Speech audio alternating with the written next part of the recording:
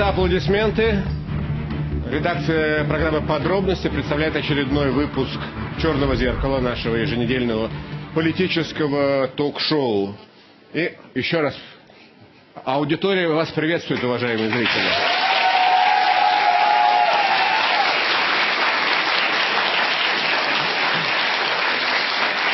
Я смотрю, что мы нескольких гостей в студии пока что не досчитываемся. Наверное, выпавший сегодня в Киеве снег мешает им до нас добраться. Я надеюсь, что здесь появятся еще э, те гости, для которых зарезервированы пустующие места. А, я, как всегда, буду представлять тех, кто сегодня будет участвовать в нашей дискуссии по мере того, э, как они будут в нее вступать.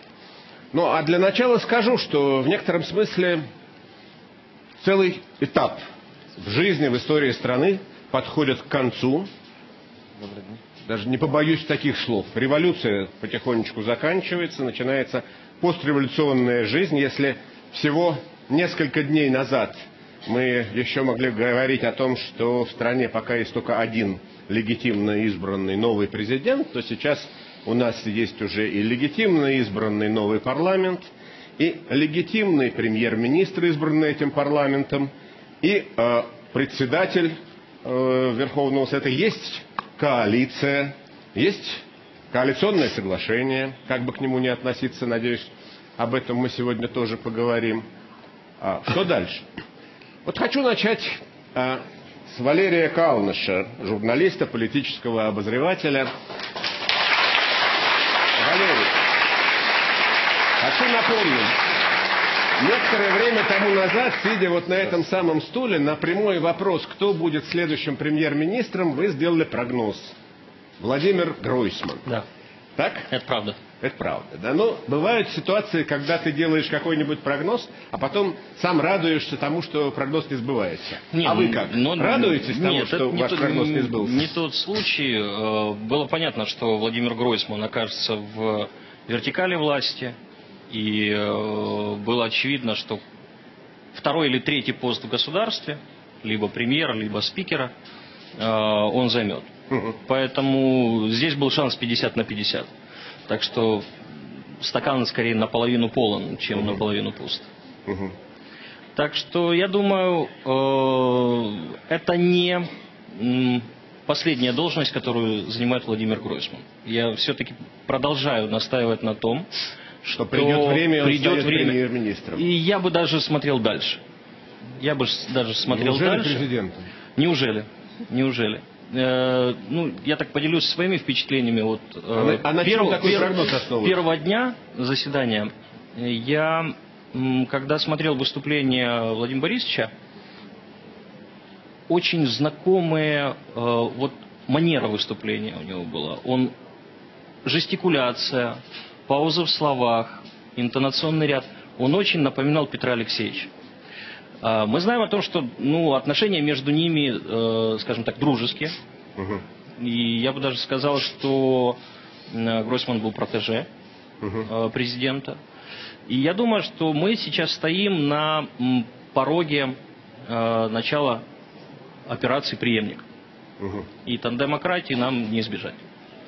Не рано ли о Да, операции вот я хотел преемник как раз сказать. Может, рано говорить о преемнике. Тут еще как бы Может быть. непонятно, Может быть. что будет вообще. Это то, что называется за- и за- с Родиной, за- как, зафиксировать как, точку Как входа. поется песня «И с Родиной Политолог с нами». Вадим Карасев да, с Родиной и с подключается нами. к разговору. Вот. Пожалуйста. Э, Мне первое. Я думаю, что вот, э, можно с уважением относиться, и нужно относиться э, с уважением к Владимиру Борисовичу Гройсману. Он, без- безусловно, э, перспективный политик.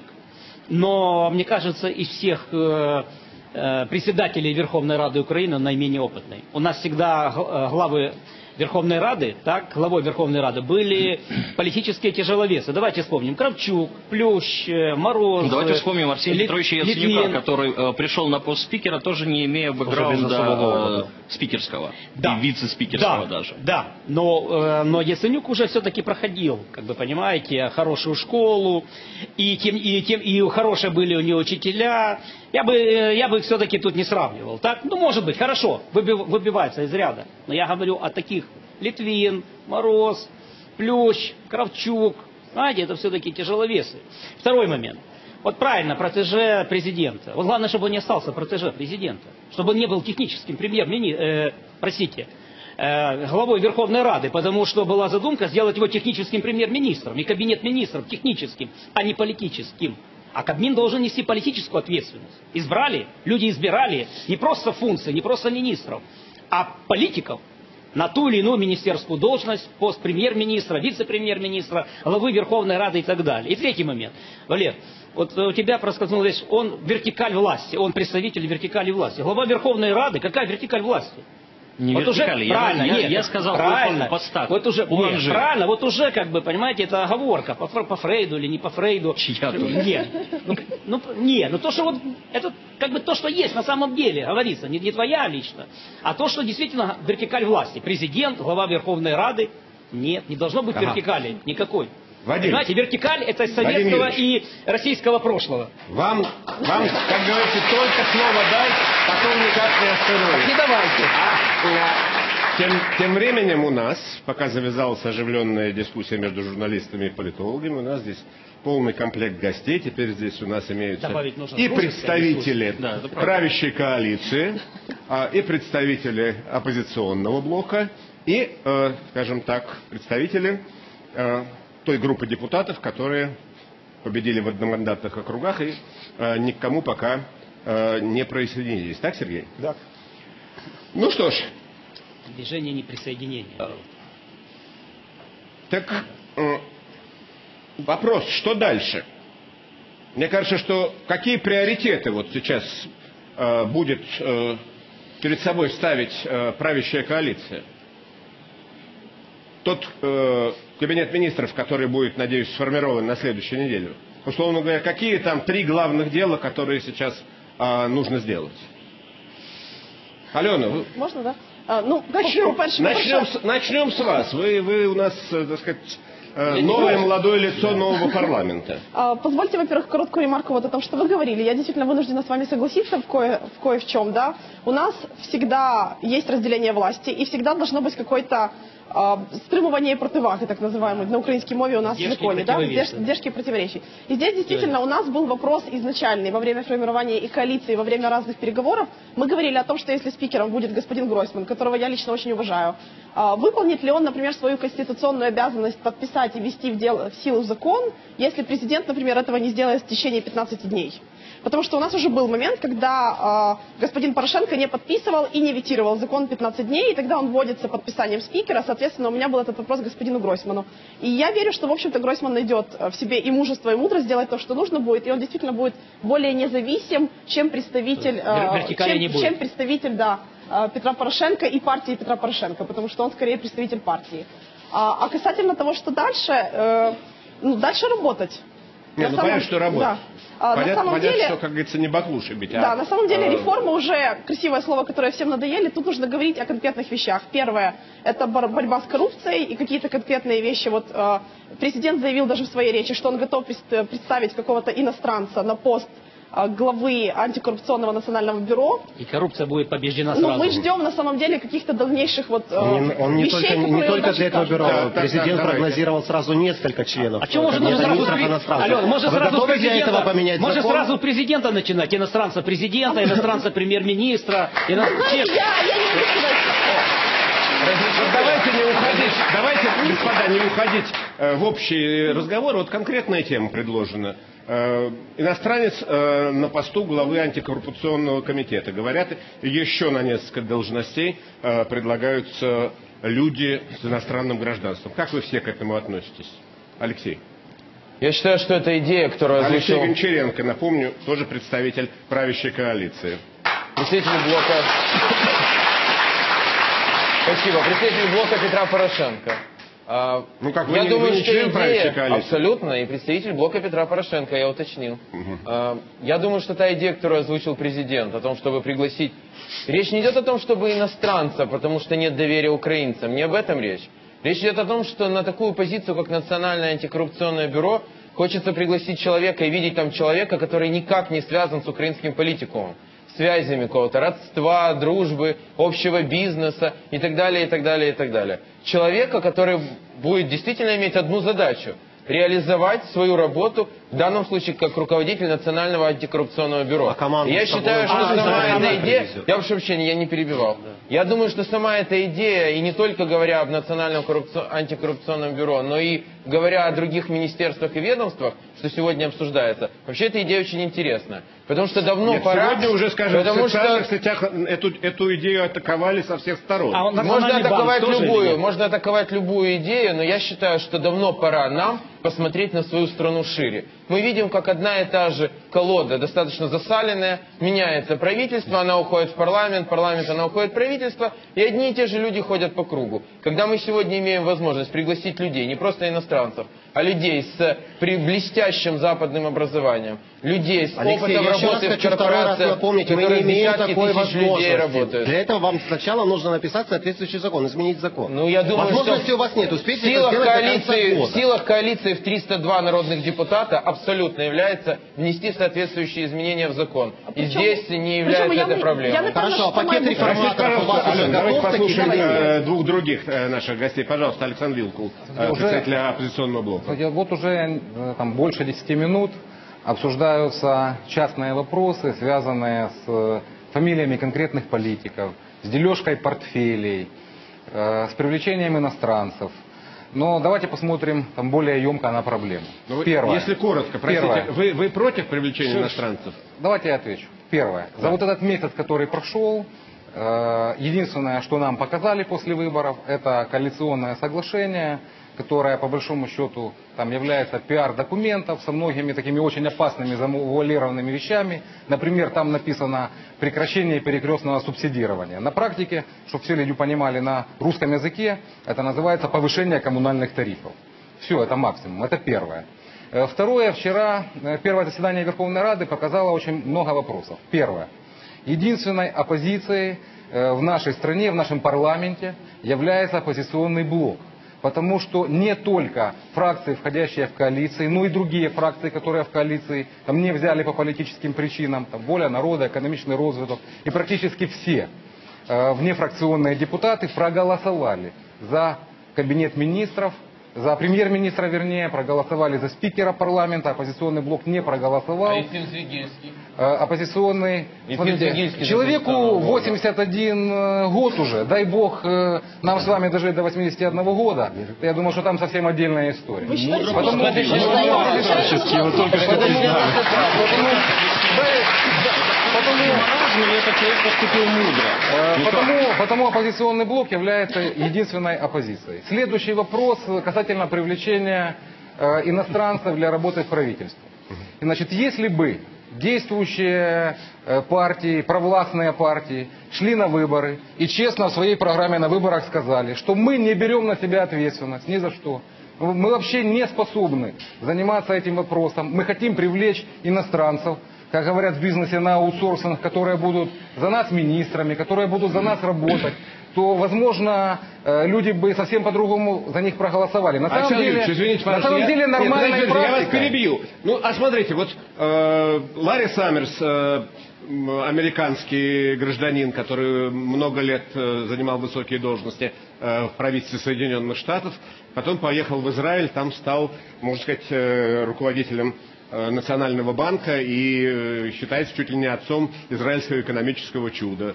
Сп- Список таких примеров могу продолжить, если На хотите. самом деле очень нормальной практикой в развитых странах является привлечение иностранных э, консультантов, там, где не хватает э, Советников, компетенций, ну, на должности Советников, советников, при Это президенте, при премьер-министре, которые помогают. Но Да. украинские политики должны сами брать на себя Себя ответственность, ответственность, конечно, потому что политически. именно это они объясняли избирателям.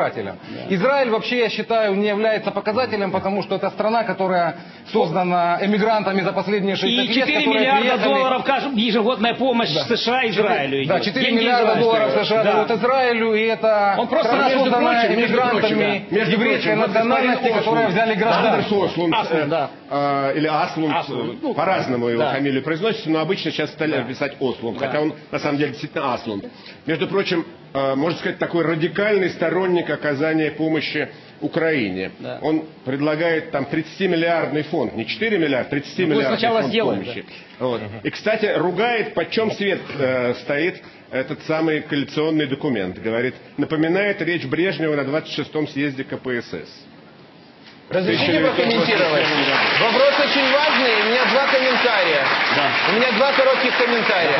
Во-первых, э, нас сейчас смотрит моя бабушка, которая 88 лет. Я хочу сказать, что ее здравому смыслу и уму могут позавидовать многие молодые люди. Поэтому мне не понравилась фраза о том, что если человеку 81 год, то мы не можем комментировать его действия. Это неправильно и некрасиво. А второе... э, Второе, что касается иностранцев. Я вообще одессит и могу сказать, что Одессу строил Дюк де Ришелье, француз, Ланжерон и так далее. Человек, который потом был премьер-министром Франции. Но его не И это избирали, один из- Алексей, его и не это- избирали. Какая разница? Это Нет, градоначальник. это Это был градоначальник нашего города, которым мы гордимся. Поэтому бюро нет ни- никакого А? Значения, какая сегодня у человека паспорт. Мы живем совершенно в другом мире. И я хочу сказать, что наша коалиция – это не дележка портфелей. Мы как раз и шли. Мы сегодня прописали коалиционный договор. И мы их подбираем сегодня министров не как людей, которые будут что-то придумывать, а как исполнителей коалиционного договора, подписанного 302 народными депутатами Украины. И мы берем на это лучших менеджеров мира. Я считаю, что это хорошая идея. Мы посмотрим, как она будет реализована. Но сам подход интересный и правильный. Тот новый подход, которого так ждет Ну а если менеджер не справится, Тогда менеджеры меняются. если он не справится, провалит свою работу, с кого мы спрашивать будем. Где мы его по какому миру Сергей? Мищенко, давайте послушаем неприсоединившегося депутата. Что он скажет? Ну, по-перше, е, я хочу е, подякувати своїх виборців, які знову мене обрали. І я думаю, що е, я виправдаю свою їх довіру і буду робити те, що і робив, як і в минулому скликанні, незалежно від того, що я позафракційний і тоді був, і зараз позафракційний.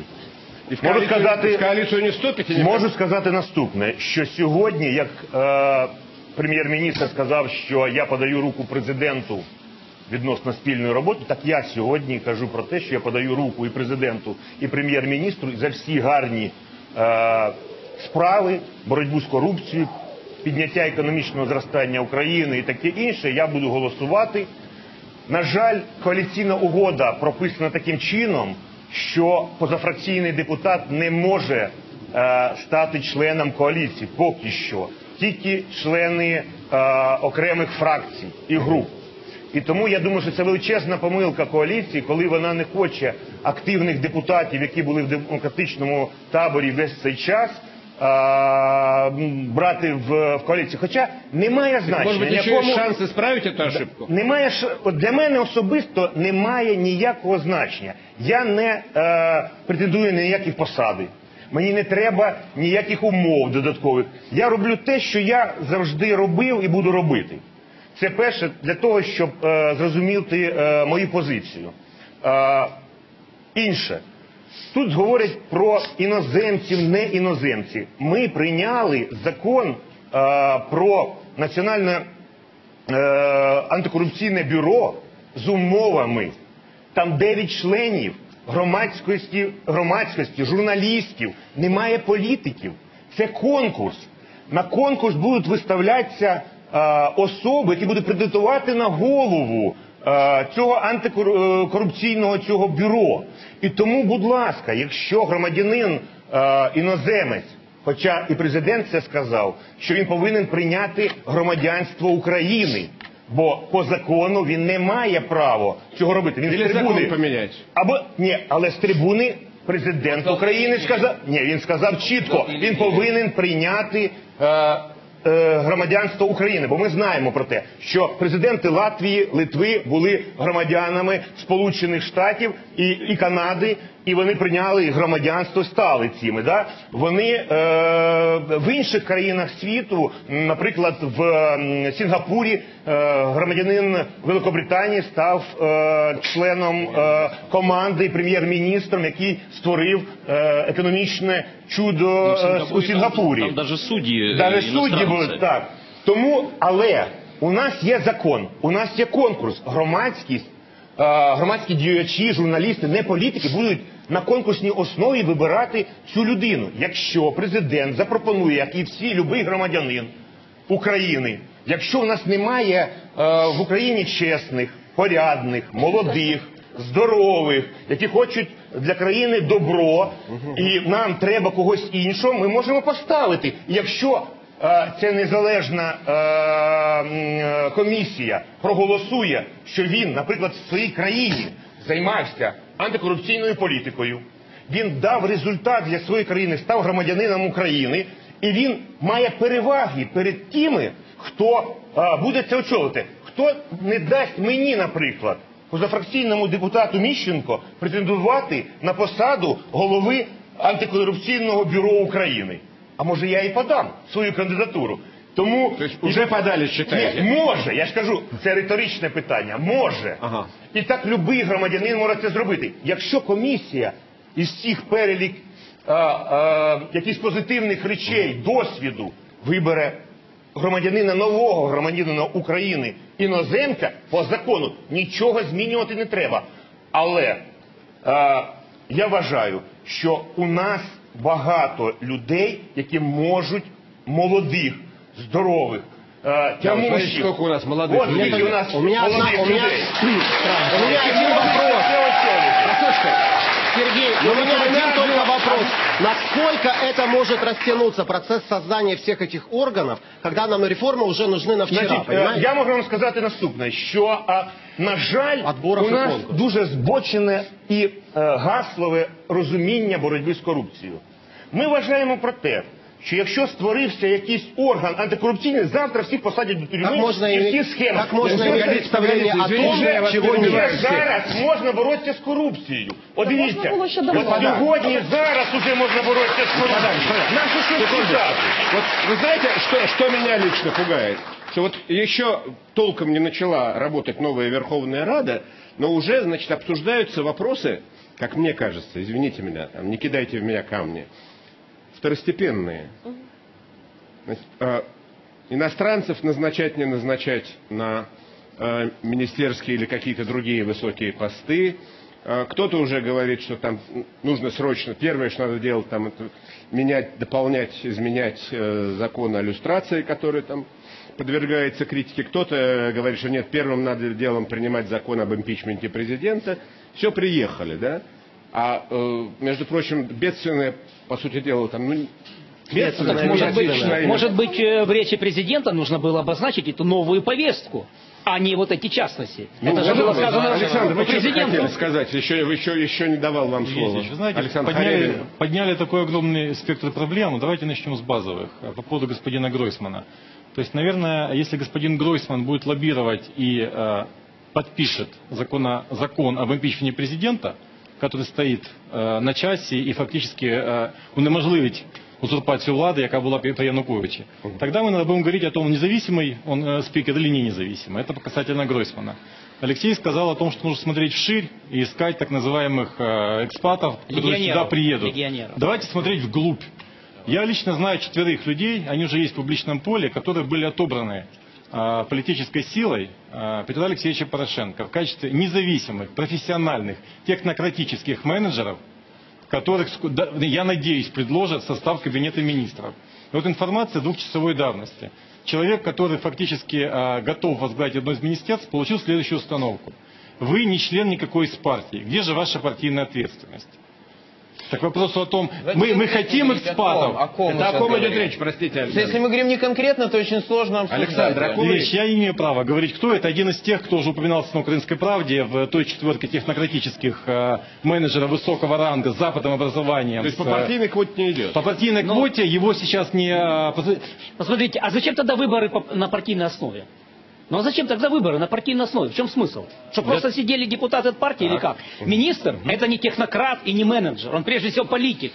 Первый замминистра, аппарат министерства, да, менеджеры, технократы, профессиональные служащие, госслужащие, аппарат стабилен, политики меняются. Одна партия пришла к власти, министра назначает, проводит такую политику, аппарат не трогают. А то вчера один говорит, мне не дали команду привести свою А министерство. у нас, А есть, это что? у нас есть партии, у нас есть партии, национальные партии, кто представляет Правильно. интересы Украины. Или- Подождите, так надо как раз и формировать, чтобы партии отражали интересы Украины. У них- Совершенно. у них мы говорим о сейчас, о том, что происходит есть, сейчас в стране. Кстати говоря. И не надо говорить о том, что у нас одна и та же колода. Во-первых, половина парламента новая. Это новые лица, молодые. Давайте из них искать. Второй момент. Давайте. Первый. Второй момент.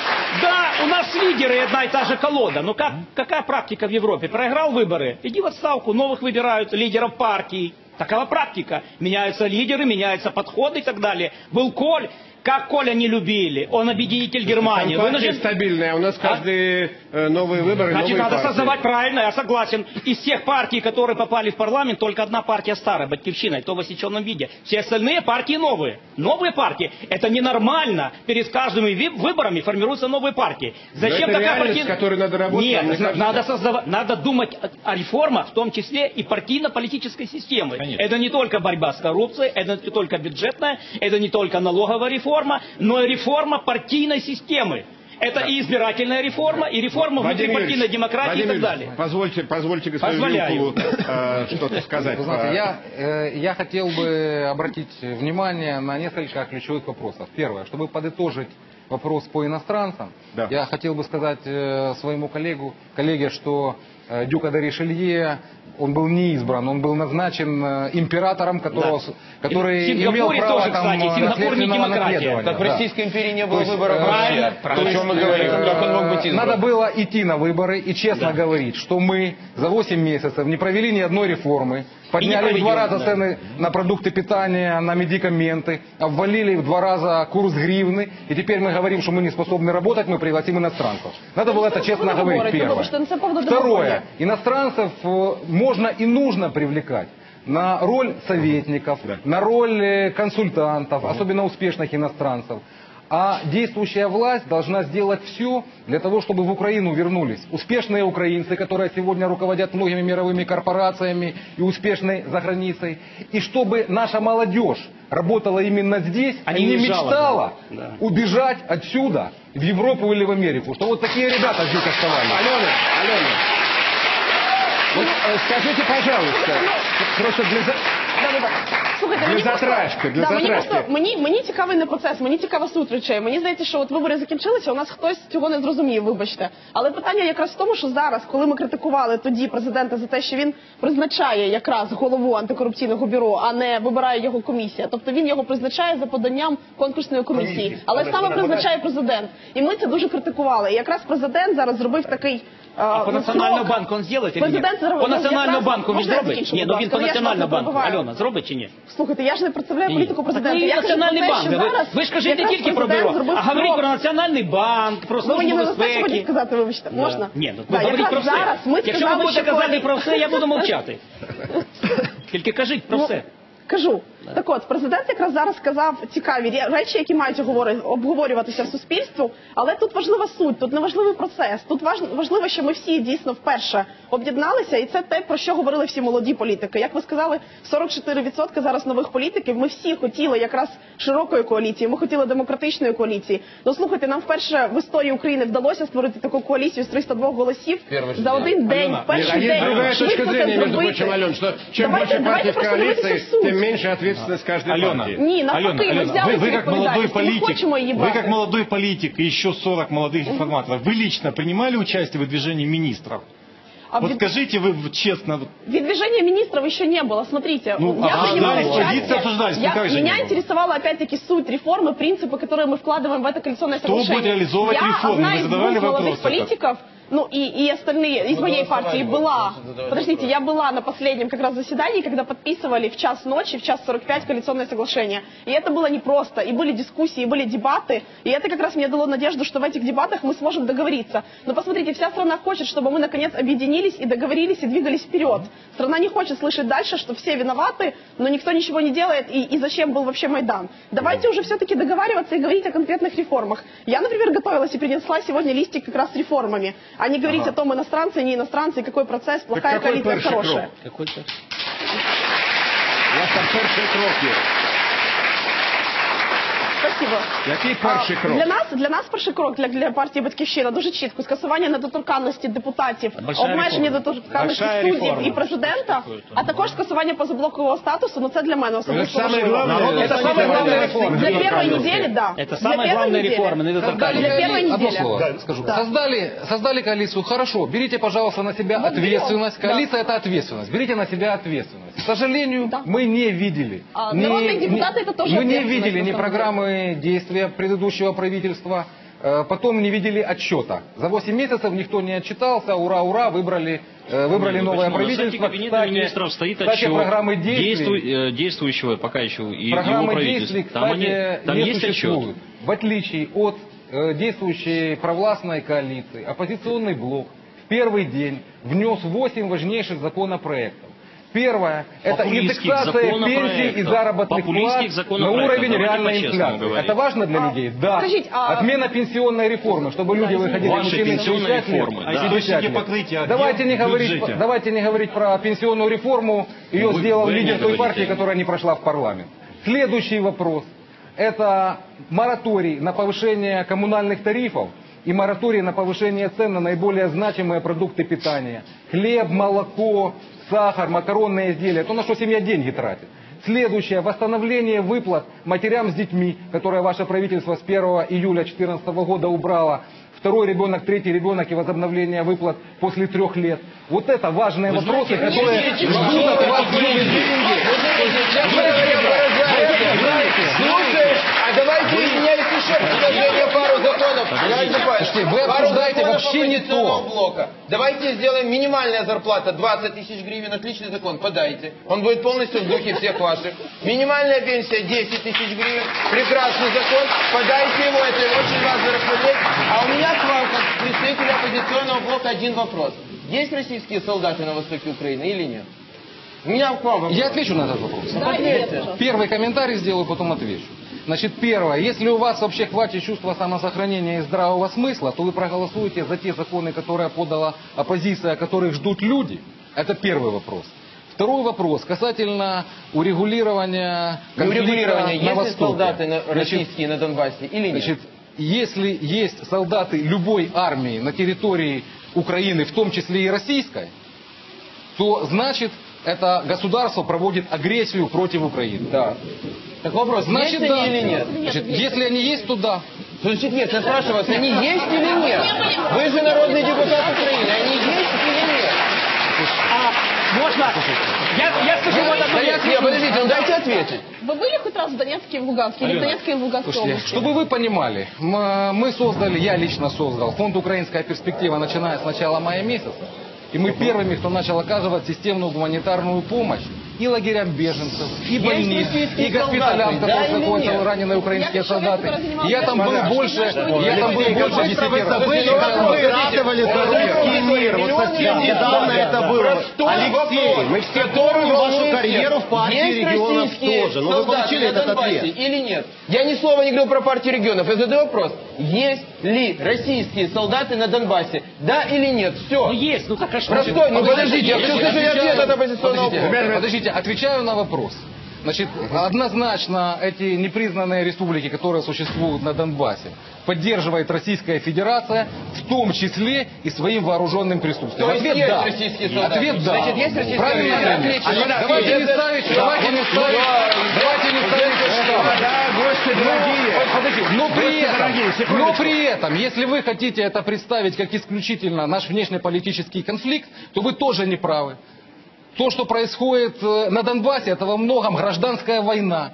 По причине того, что э, никто не хотел э, делать диалог. И, кстати, вот этим вот законом или указом, по которому полностью остановлены на Донбассе выплаты пенсий, пособий матерям с детьми, мы отрезаем несколько миллионов человек. Потому оппозиционный блок, один из законопроектов, подал восстановление пенсий, восстановление выплат матерям с детьми, э, Александр миллионам людей, которые что я являются заложниками конфликта, сказали, что который вы не смогли решить. Понятно. Вы сказали, Что российские делать с миллионами людей? Значит, это не гражданская война. Что делать с миллионами людей? Ну, слушайте. Отвечаю, отвечаю на, отвечаю на вопрос. Это гражданская война, одну из сторон которой поддерживает Россия, в том числе и российские вооруженные силы. Да. Господа хорошие, извините еще раз, что я вас прерываю. Ценой больших усилий нам удалось уговорить принять участие а, в нашей программе Михаила Саакашвили, а, бывшего президента Грузии, а, который в прошлом был главой государства и проводил реформы, которые очень часто у нас в стране вспоминают к месту и не к месту. Но, тем не менее, грузинский опыт бесценный. А, Я вас приветствую, господин Саакашвили. Приветствую вас. Вы слышите нас хорошо? Да, слышу хорошо. А, Приветствую всех в аудитории. Вот, э, Михаил Николозович, э, тут у нас уже э, завязались очень горячие споры по поводу того, каковы должны быть приоритеты э, нового парламента, нового еще не сформированного правительства. Э, пожалуйста, несколько рецептов. Вам не впервые. Ну, я- Но, пожалуйста, еще я раз. думаю, что да, я думаю, что наши ситуации были очень похожи, потому что с одной стороны Украина находится в экзистенциальных э, условиях экзистенциальной угрозы, то есть вопрос стоит так: Путин решил разрушить украинскую государственность, для него вопрос э, разрушения украинской государственности, вопрос жизни и смерти для себя самого. И, конечно, есть проблемы большие в Украине, но надо понимать, что и в России есть не менее проблемы. И с уменьшением цены на нефть, э, и с большими и с санкциями, которыми, и с большими экономическими проблемами, которые вызывают эти санкции, э, запас прочности и России путинской России, э, он тает как шагреневая кожа. Сейчас главное Украине продержаться, главное Украине э, через этот период пройти. И для этого, я думаю, мы все понимаем, я думаю, прекрасно это понимает каждый украинец и каждый патриот этой великой страны, и в том числе и политические, большая часть политической элиты, что нужно проводить быстрые реформы, а реформы это не общее слово. Реформа это в первую очередь э, решить фундаментальный вопрос, фундаментальный вызов э, для украинс- украинской государственности, для каждого украинца, это борьба с коррупцией. То есть вы Э, считаете, проблема что, том, что самое главное это начать э, борьбу с коррупцией? А что для этого, Безусловно, на ваш взгляд, Украина- самое важное? Ну вот э, Безусловно. ссылаться на опыт э, сингапурского премьера Ли Куан Ю, который говорил, знаете, э, для того, чтобы начать борьбу с коррупцией, надо э, несколько самых близких друзей отправить за решетку. Согласны с такой Э, постановкой вопроса? Э, Не без этого, не без этого. То есть надо начать, то есть главное отказаться от кумовства, от клановости. э, И очень важно несколько вещей. То есть, во-первых, полностью нужно избавляться от, от- у меня, например, со мной не разговаривает половина моих родственников. э, э, И это нормально, потому что как, то- как- когда я пришел к власти, они считали, что э, нормально. То есть мой предшественник делал деньги, там вся его семья была очень богатая, но, естественно, взяли сейчас нас- настало наше время. И не тут-то было. И не только, не только я не, не помогал, но и активно поручил своим правоохранителям, руководителям своих правоохранительных структур следить за тем, чтобы никто из родственников президента, членов семьи не был успешным э, в делании бизнеса. Или одноклассников, или там э, каких-то там других друзей там, и так далее. Естественно, их это не обрадовало. Грузия, Грузия маленькая страна, все совсем Ну вот смотрите, Михаил Николаевич, а, и вот теперь, после того, как э, вы провели э, такое количество успешных реформ, э, и на ваш опыт все время ссылаются, вот э, вы лично, увы, потеряли возможность жить в Грузии, против вас пытаются возбуждать уголовные дела, э, вас преследуют. Вот, смотрите, любой украинский реформатор, глядя на вас, будет долго э, чесать, как говорится, в затылке, а мне это надо, чтобы потом значит, Не, не, меня ну, все возненавидели и начали тоже, значит, меня вот так вот гнобить. Это вы, как мой сын восьмилетний, говорите, э, ему э, свой одноклассник спросил, э, недавно я просто присутствовал при их разговоре по телефону, говорит, говорит, не ты хочешь стать президентом? Он говорит, нет, того еще не хватало. Говорит, вот живешь, живешь себе там, потом был президентом там 10 лет, потом другой стал президентом, и потом вдруг у тебя нет собственного дома, он объяснил. И потому что действительно теперешнее правительство Грузии конфисковало не только мою квартиру, мою, мою двух, двухгектарный виноградник и единственная собственность, которая есть, и квартиру там пятикомнатную, четырехкомнатную, 90-х годов, которая у нас есть, но у моей бабушки Хонду 16-летней давности. Но это все временные события. Да, у нас был реванш коррумпированных старых сил. Но даже на, не, несмотря на это, надо понимать, что пришли вот, в буквальном смысле люди, которые были полностью реваншистами, и которые все хотели свернуть обратно. Но все институты Грузии, которые мы создали, у нас самая быстрая таможенная процедура в мире. Самая быстрая регистрация компании, самое быстрое оформление имущества. У нас э, э, самая быстрая выдача документов личности. Все эти вещи, вот про паспорта, про все эти вещи, несмотря на то, что с моей точки зрения, государственной точки зрения, пришли реваншисты и просто дикари, я говорю чисто в государственном смысле этого слова, система настолько хорошо отложена, что даже вот эти политические, в каком-то смысле, дикари не смогли ее свернуть с пути. И это есть главный критерий реформ. Не судьба реформаторов, не то, что никто из моих там членов правительства не стал, не только, что практически никто, но есть там маленькие исключения, не только не заработал никаких денег, но многие из них там все время сейчас ищут работу и нашли работу по всему миру. Но это не главное. В Украине есть большие проблемы. Украине, Украину грабят все последние 25 Слушайте, лет. а может быть из вас, кто, Украину... из вашего правительства э, кто-то найдет работу в Украине? Ну, знаете, в первую очередь, мое фундаментальное, э, мое фундаментальное убеждение, что в Украине э, очень много талантливых украинцев, и в первую очередь, конечно, они должны э, поменять Украину. В Украине, первое, нужно, когда мы говорим, что нужны изменения, нужна новая кровь нужны новые талантливые люди. Всех поколений, но особенно молодежи. У вас есть очень много образованной, хорошей молодежи. Что касается грузинского опыта, то у нас есть грузинские офицеры, которые проливают кровь за Украину, потому что это вопрос выживания. Вопрос успеха Украины – это вопрос быть или не быть моей собственной Грузии. Понятно, быть или не быть понятно. нашего будущего. Михаил Поэтому Николаевич, извините, что я вас перебиваю. Тут просто э, гости нашей студии тоже хотели бы задать вопросы. Вот, например, да, Александр Вилков, ну. Представитель оппозиционного блока, он просто э, первый поднял руку, потом Алексей Гончаренко, потом вы. Но ну, я и, первый, и потом... кстати, поднял руку. Не, не, не, не, не, не, давайте, Александр Юрьевич. Значит, господин президент, я несколько раз был в Грузии, мы с вами там, кстати, встречались, и да, я считаю, да. что в Грузии были проведены прекрасные фундаментальные реформы, и во многом это может быть э, для нас образцом. Хотя мы видим, что, к сожалению, за короткий промежуток времени проводится, проводится ревизия, все пересматривается и так далее. Это большая проблема. Вот сейчас, э, насколько я Тишина знаю, в студии. Двое, э, двое людей Тишина в из студии, господа. правительства Грузии, из вашей команды практически рассматриваются на должности уже, соответственно, на Украине. И если они были успешны, то они могут быть и хорошими советниками, и хорошими консультантами и так далее. Вот у меня к вам один вопрос. Вы хорошо знаете, кроме Грузии, вы хорошо знаете Украину. Вы здесь учились, и, и, и частный гость, и много советуете. Спасибо вам за это. Скажите, зная качество э, сегодняшней украинской власти, украинского политикума, а как, э, как вы думаете, их тут будет кто-нибудь слушать, их советы, то, что они будут говорить? И будут ли так делать? Все, спасибо. Я думаю, что в первую очередь, э, спасибо за вопрос.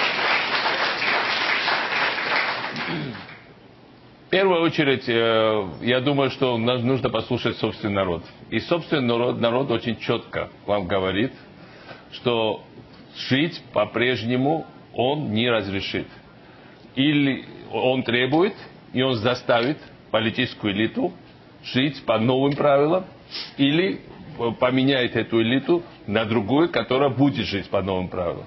Потому что украинский народ и вообще украинское э, общество пошло очень намного вперед. И это показали все последние события. Это показали, кстати, я думаю, что разные мнения могут быть у вашей аудитории, но и последние выборы. Это потрясающе утонченный, умный, смелый, образованный народ. В целом, общество. многоэтническая, многокультурная, состоящая из многих элементов, но действительно большая серьезная общность. И поэтому э, э, э, ну, грузинский опыт, как раз вы сказали, что там все от реформы, но я говорю, что, конечно, как, через какое-то время любой реформатор, э, любой человек, который э, так бы сделал то, что мы делали, то есть э, не разрешил своим кумовям э, э, захватывать бизнес, не разрешил то, что происходит у вас в Украине постоянно. У вас там на, в аренду, в аренду сдаются предприятия, а, а арендаторы выплачивают 200 тысяч в год, а э, забирают забирают с этого предприятия 100 миллионов. И потом э, перераспределяют это на то, что там кого-то подкупить, кого-то там э, запугать, просто забирать себе за границу на свои счета. Вас постоянно грабили в вашу страну. Потом это все еще перетекалось в политический класс, э, и, я, и практически происходила каннибализация страны. То есть главное, что урок наш, думаю, не то, что кого-то послушать, главный мой совет, и думаю, то, что и требования общества, надо начать сажать коррумпированных общественных э, и других деятелей. Спасибо. Надо Следующий сажать. вопрос, пожалуйста. Алексей Гончаренко. А, а, Михаил Николаевич, я вас очень попрошу э, чуть короче ваши ответы, если можно, потому что мне хотелось бы, чтобы мы успели э, до рекламы. Пожалуйста. Гамарджоба Дзерпаса Батона Михаил, Мева Ралико Одесседан. Мне очень вас. приятно вас видеть и приятно задать вам вопрос. У меня их два коротких. Первый. Только что представители нашей оппозиции сказали, что они видят реформы следующим образом и подали первые законопроекты. Заморозить административно цены и поднять социальные выплаты. Ваш опыт грузинский реформ действительно очень значимый. Считаете ли вы такой подход правильным? И второй. Как человек, который прошел большой путь, каких ошибок вы хотели бы предостеречь новое украинское правительство и новую команду, которая сегодня будет реализовывать реформы? Мадлоба. Дякую вам в первую очередь, ни в коем случае, мой совет, ни в коем случае не откладывать вещи в зависимости от того, кого-то не обидеть, там кого-то не наступить. Сейчас главное понять, что вот это направление, надо туда быстро двигаться и все равно там э, расталкивая локтями кого угодно. Любые там интересы, любые там заслуги других людей. Вот этот народ требует, чтобы вы двигались вперед. Что mm-hmm. нужно делать? Не mm-hmm. старыми советскими методами. Совок, надо заканчивать совком. Главное, мы что сделали? Мы снизили налоги на 60% в Грузии моментально. У нас казна была пуста. Мы снизили налоги, у нас налоговые поступления выросли э, ровно, если пересчитывать математики, почти 20 раз. У нас бюджет вырос в 11 раз. То есть раньше все эти деньги шли в карманы э, коробы правороватых чиновников мы вернули деньги народа, народу в условиях меньших э, налогов. Первое. Второе. Сократить госаппарат. У вашего госаппарата слишком много функций. Они занимаются всем чем угодно, реально ничем не занимаются, кроме того, что выманивают деньги Государственные расходы Они просто делают... 48. Да, у нас обходилось. Мы конституционно поменяли, и у нас не могло быть больше 30, реально мы 27-28% делали. Надо сокращать э, вот это бремя, потому что это бремя вы реально кормите чиновников, которые у вас последнюю кровь высасывают. Страна этого просто не выдержит. Понятно. Каждый из нас будет, из них, и мой совет, они будут доказывать сейчас, каждый департамент министерства, новый министр, вот наш департамент нужно, без этого, без нас произойдут пожары, там люди отравятся, все разрушится. Так гнать их в шею, неправда это все. Михаил, Главная Михаил у, у нас минута не, осталась, не, пожалуйста. Не, что... Последний, пожалуйста, да. последний а, вопрос. Вадим Карачев. Тогда очень, очень э, короткий вопрос. Э, короткий Какая вопрос. была ежегодная помощь США Грузии на реформы? Из каких источников финансировалась реформированная полиция? Это очень важно, потому что Украина это, большая страна. Это, Понятный это, вопрос. Это, это, это, это рассказывал Путин, эту, эти байки насчет того, как нас Америка кормила. Да хотел бы я, что она нас кормила. На самом деле все наши деньги, все пришли за счет того, что мы не разрешали красть и заставили их принести то, что они украли обратно. Не было ни одного миллиона, по, по крайней мере, первые годы наших реформ, после войны они чуть-чуть помогли, не было ни одного миллиона, который они нам дали. Это все было за счет того, что мы э, сократили регулирование, сократили аппарат, реально поменяли, практически э, поменяли всю таможню, поменяли всю полицию, сократили их несколько раз, сократили их функции, от, освободили бизнес. Грузия на восьмом месте в мире по простоте была, при моем мне, по деланию бизнеса. Справились с криминалом. Э, у нас самая безопасная страна была в Европе. И пошли деньги, пошли инвестиции. У нас туризм вырос, а в Украине больше потенциала даже. Михаил Николаевич, Михаил Николаевич, 100 тысяч извините, что я 6 вас- миллионов. что я вас 60 перебиваю. То есть Михаил Николаевич, вы спасибо за вам счет своих огромное. ресурсов не верьте тому, что Америка вас будет кормить. Вы сами можете себя прокормить. И Спасибо, будьте, быть- спасибо быть большое. Спасибо за ваши ответы. А, К сожалению, просто наше время в данный, в данный момент подходит к концу. У нас на связи был э, президент Грузии Михаил Саакашвили. Знаете, бывших президентов не, не бывает, не добавляем приставку э, «экс». Э, спасибо, а мы э, продолжим нашу программу э, в следующей уже ее части.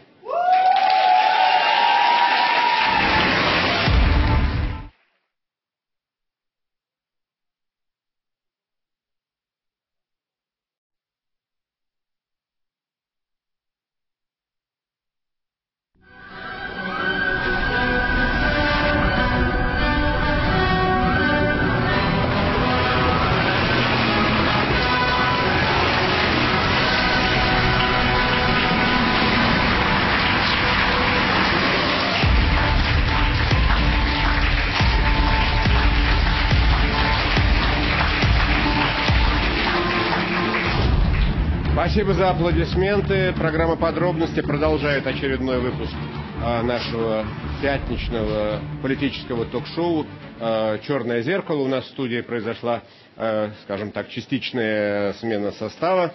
К Алексею Гончаренко, представляющему блок Петра Порошенко, присоединился еще один однопартиец Александр Черненко. Беспартийный.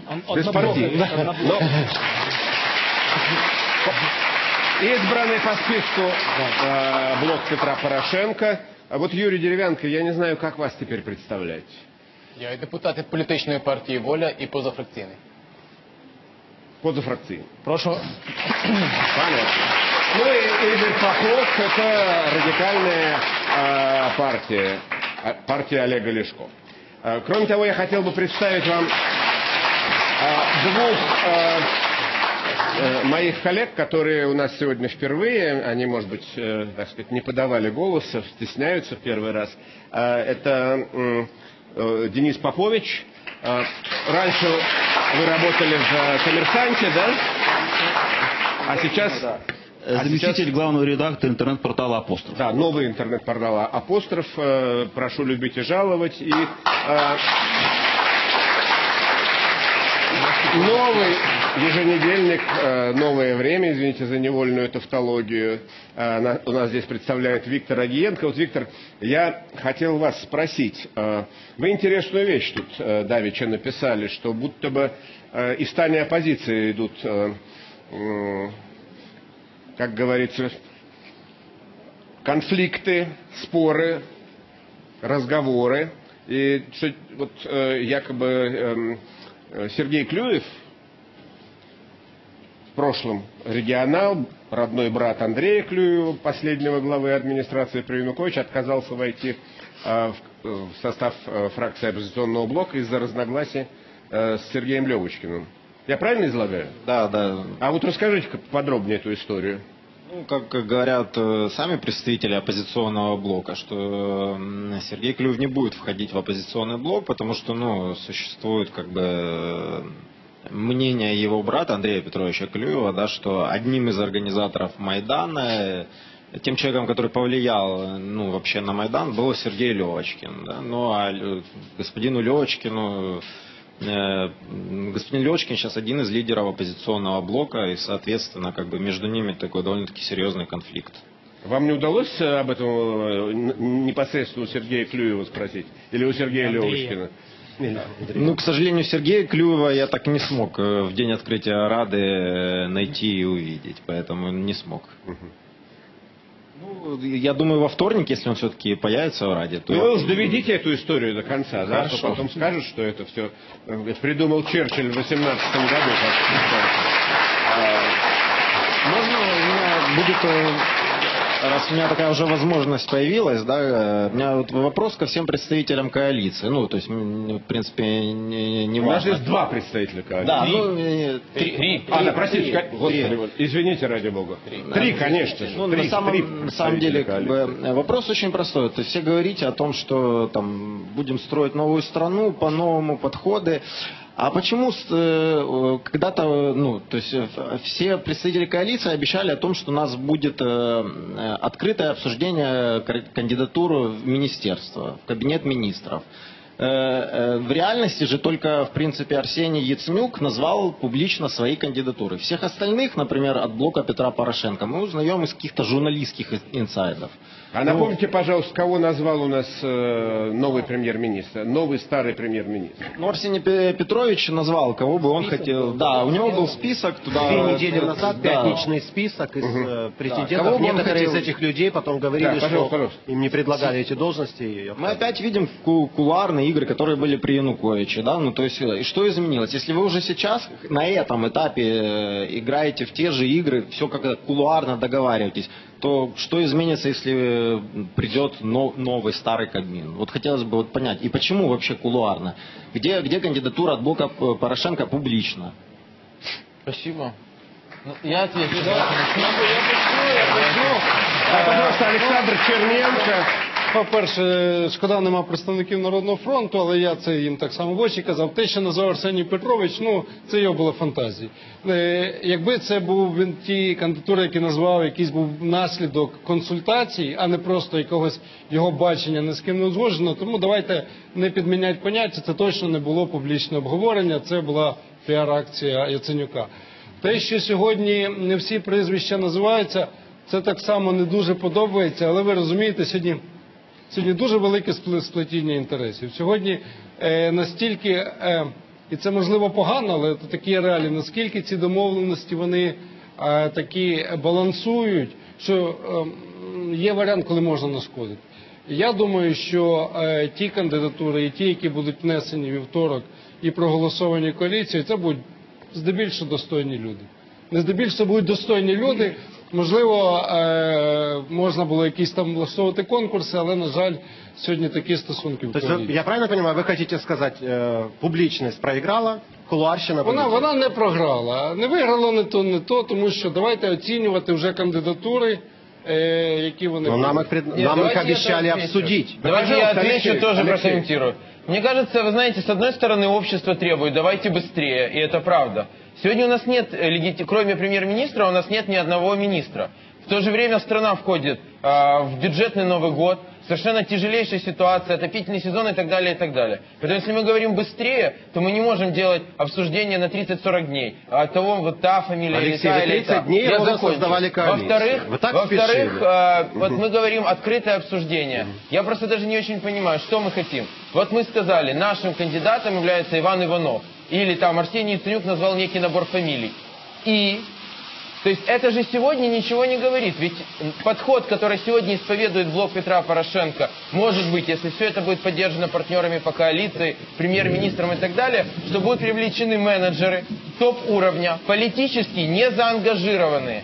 Это очень важно. Не по партийным квотам, которые смогут себя реализовать и показать свою работу. От обсуждения их фамилий, так, 99% жителей Украины это ничего не скажет. Это Мы плохо, увидим их Алексей, работу. почему это это не плохо, и не хорошо. Мы знаем одни и те же фамилии, которых мы знаем уже их эффективность. Сегодня речь идет о новых людях.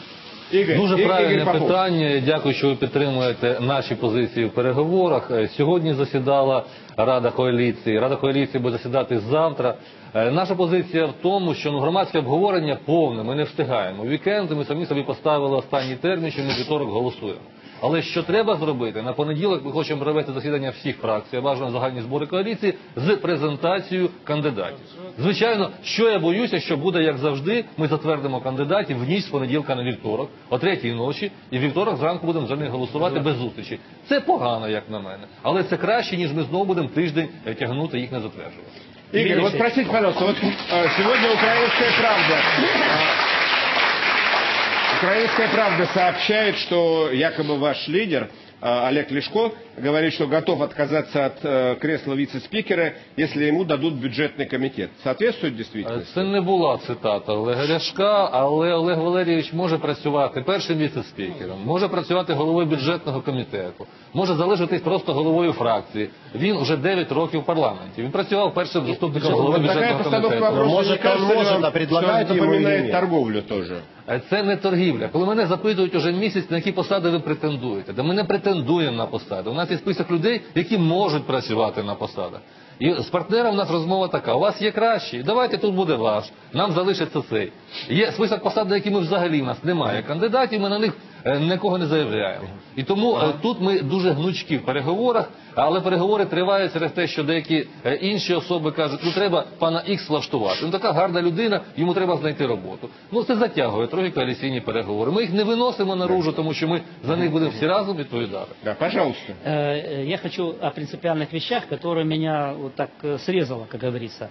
Топ-менеджеры высокого уровня на министерские посты, которые политически не ангажированы. Ребята, это политика. Он должен быть политически ангажирован. Не кланово ангажирован, не ком, не представитель клана, не так далее, но политика. Министр это политик. Он Владимир, отвечает. ну, политика достала Да, нет, не. Ну, что Во-вторых, во-вторых, как делается в Европе? Когда мы знаем, что та или иная партия, вероятный участник коалиции или правительства, у них уже набор, потому что мы знаем, кто лидер партии, кто зам, кто специалист по экономике в этой партии, кто специалист по финансам, кто по культуре и так далее. Мы уже знаем, кто примерно какой Ну, будет кормить.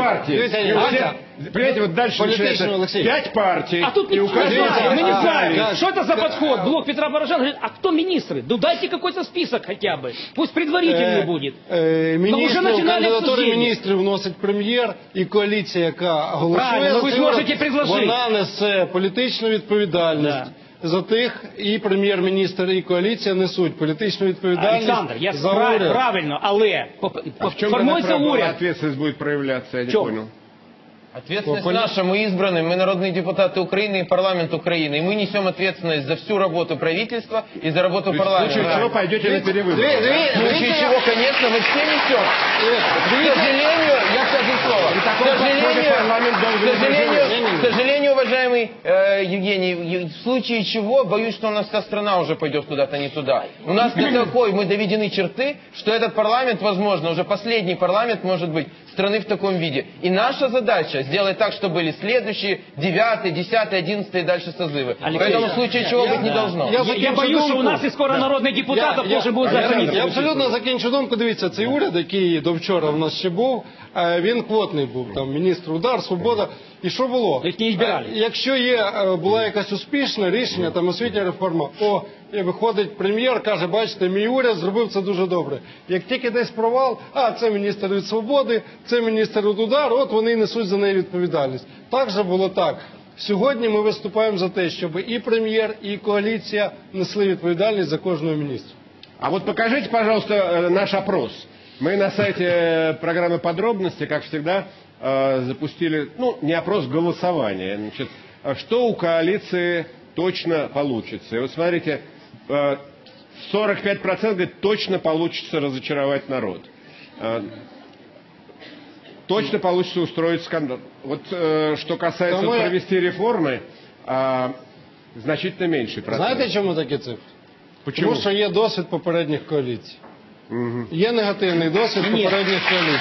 Так, но є, но є вже, І відповідно но є, негативні но очікування. є вже досвід формування цієї коаліції. А можно тоже добавить, почему такие цифры? У нас был в первой части пер- передачи Михаил Саакашвили, который действительно провел огромные реформы. Я в Грузии был часто и каждый год бывал. И посмотреть, ну, когда он пришел к власти, это не было света, это не было воды, зарплаты там были по 10-15 долларов. Ну, это невероятно, в каком состоянии была страна. Когда он уходил, это совершенно другая страна. И что? В итоге его партия проиграла выборы в Грузии. Он создал честную демократическую систему, в которой были честные выборы, и партия проиграла. Что это нам говорит? Это говорит о том, что четвертый пункт разочаровать народ будет 100%. Это правда. Потому что никогда ни одна власть не выполнит все пожелания и, все очарования не и любви если,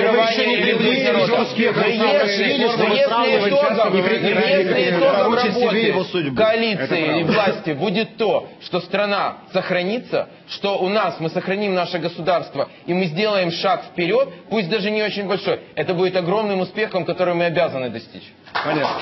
Александр. Пожалуйста. Александр Харебин, хотел, вы хотели что-то сказать или о чем-то спросить? Да, в начале передачи вы сказали, постоянно повторяли слово «правящая коалиция». Знаете, хочу дожить до того времени, когда будет говориться «служащая народу Украины коалиция». Вот. Это... И- ис- исходя из этого, и результаты будут другие. Давайте посмотрим на ситуацию сейчас с политиками. То есть министры идут от политических партий. Фактически квотный принцип, который якобы не а, соблюдается сейчас, он соблюдается неформально. То есть выдвигает коалиция, но в любом случае правительство поделено практически по квотам от каждой политической силы, неформально. Что-то выдвигает блок Петра Порошенко, что-то Народный фронт. Дай бог самопомощь сподобится что-то выдвинуть. Про Ляшко не знаю. Ну, Возможно, у вас есть другое. специалисты, Это которые готовы что-то выдвинуть. это, Смотрите, вот это а, реформы в стране назрели давно. Реформы непопулярные, которые могут уничтожить рейтинг любой политической силы в Украине. Ну, Поэтому при наличие технократического правительства, за спиной которого не стоят политические силы, Я вам объясню, А как- дви- знаете, как успешные реформы делались в Польше? Там партии делали. Ни один лидер вам не сделает реформы. Вот судьба Саакашвили. Где он сейчас? И реформы недоделанные. не надо, при- не надо преувеличивать он Грузии. Не надо. Грузию. Давайте не будем солидарность. Вот. Да Давайте не будем солидарность вот с смотрите. солидарность послушайте. Порошенко Я сравнивать. подожди, послушайте. Вот была, был Валенса, солидарность. Попу- Непопулярные реформы Бальцеровича. На смену приходят левые партии, Левица, Квасневского. Они продолжают реформы. Потом ими недовольны, выбирают опять правых. Вадим, Меняется у нас через... нет политических Подождите, партий, так вот которые могли так бы вот вы играть в слушайте, длинную. Так вот вы послушайте, надо создать нормальную партийную систему, Надо. чтобы преемственность партий Да. одного стратегического вектора, потому что все работали на Европу, на НАТО, на реформы, Да. для того, чтобы Польша вернулась в Европу. Вот. Но партийные- реформы сейчас нужны, они будут раз, стоить ус- 10 лет. Услышьте меня и услышьте другие. Проводят партии, не люди.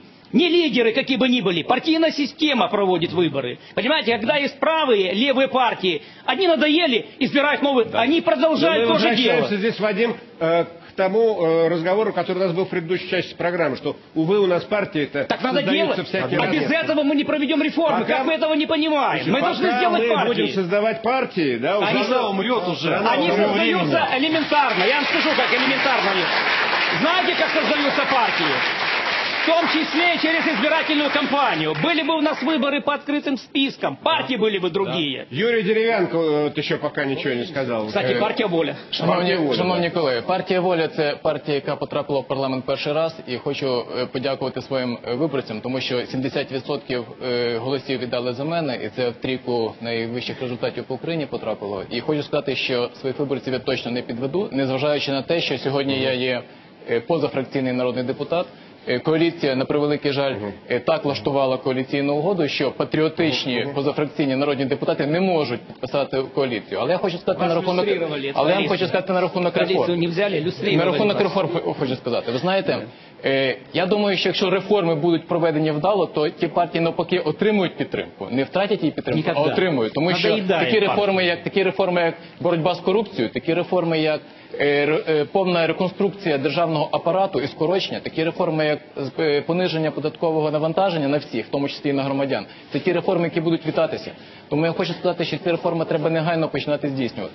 Але крім того, серед найважливіших реформ це реформа, яка стосується обороноздатності, саме підготовки наших бійців, наших людей, наших громадян до вміння захищати нашу державу.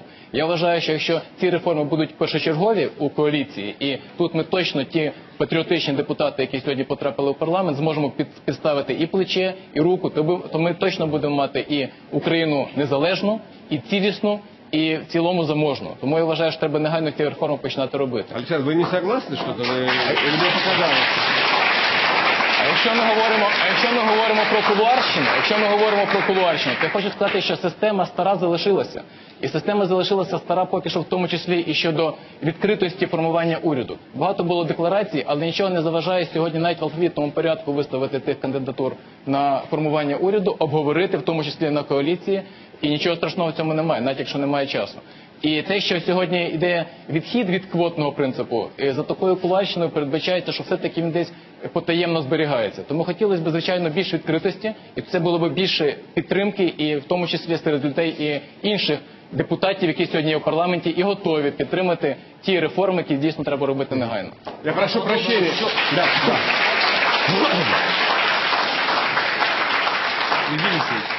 Я хотел господина Саакашвили спросить, звал ли он иностранцев, точнее, почему он их туда не звал? Почему он нашел 29-35-летних министров, Але- але- которые были не членами его партии, которые были менеджерами высокого уровня, которые провели те реформы, которые нуждалась, в которых нуждалась Потому что Грузия? о деле, наверное, думал, а не... Совершенно Видите, точно. але- Зачем але нам сейчас, на- в ситуации, Давайте- когда мы находимся фактически в реанимации, искать, учить, пятилетний период, учить партию, чтобы она создала своего министра, надо учить. если можно А взять вы а вы специалиста еще раз и сделать говорю, операцию, вы- вы который, вообще- вы- операцию, просто Вы уйдет. вообще как бы изучали вообще политологию, теорию политики, поли- политический опыт. Да, мы сейчас говорим о Изучали. реалиях, а не о скажу, только технократы проводили там реформы, где были авторитарные правительства Да. и мобилизационные экономики. А вы меня не Либо- спросили, Либо, завтра- либо это Так, были господа, давайте- военные. давайте мы оставим Да. политологические- Либо это были военные. Вы да, хотите, чтобы военная диктатура была в этой стране? Да? Давай- давай я хочу, послушаем- чтобы был президент, взявший на себя ответственность, или премьер, Не надо. который возьмет на себя Возьмет на ответственность себя за то, что будет в стране. Верховная Рада, политическая элита, политические партии, которые выбирают премьера, избирают президента. 44% Вадим, мы поняли, уже верят мы поняли, у нас включение. Хорошо. Вот, извините, пожалуйста, давайте мы э, от э, политологических материй высоких э, обратимся к э, суровой повседневной реальности, э, к реальности того, что происходит в прифронтовой полосе на юго-востоке Украины. Вот сейчас на связи с нами э, Константин Батовский, э, советник э, Сергея Тарута, который в прошлом был губернатором Донбасса, теперь стал э, депутатом Верховной Рады. Константин, э, вот э, там, в Мариуполе, на Донбассе, э, на юго-востоке, чего ждут от э, вновь избранной Верховной Рады, что, чего ждут от коалиции? Какие ожидания? Константин. Добрый вечер. А, Да-да-да, я слышу вас. Добрый вечер. Ожидание... Слышно? Мы слышим вас. Ожидание, в первую очередь, ответов на насущные вопросы. Потому что жителей Донбасса сейчас в данный момент интересует, что же действительно на самом деле происходит э, с их регионом. Каждый человек, кто пересекает зону АТО и кто здесь ездит, волонтеры, видят, что по сути обустраивается линия государственной границы, возводятся инженерные сооружения, возводятся пункты пропуска полноценные, пограничные войска заступают на службу и в принципе очень скоро будут готовы регистрировать поток людей, который пересекает эту границу. Поэтому возникает вопрос, что происходит сейчас с нашей территорией. У нас меняются границы Украины или границы Украины не меняются.